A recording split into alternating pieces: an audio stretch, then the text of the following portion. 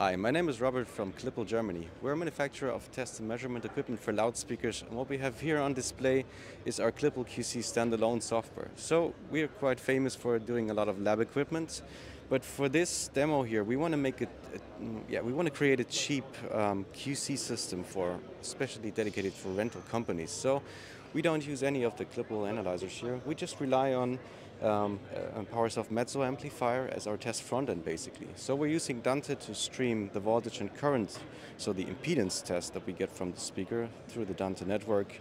And we even hooked up the microphone here, the test microphone to the Mezzo and just stream it back through the Dante channel to the Klippel QC standalone software. So um, I'm going to show you the demo quickly. So we have a test sequence here, uh, which consists of, of an impedance test which includes the small parameter fitting and even vented box uh, fitting.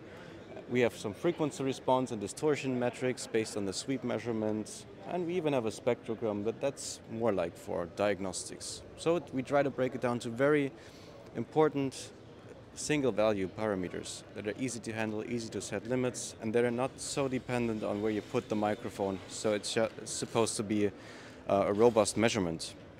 So, and this is our little demo unit here. So you can just start by scanning the serial number. So that's the sync signal.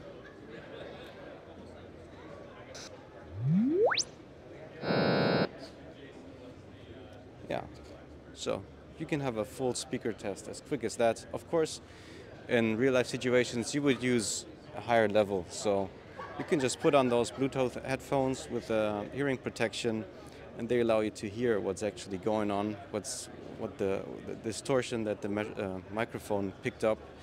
And yeah, let's just simulate a little defect. So imagine port is blocked by some material.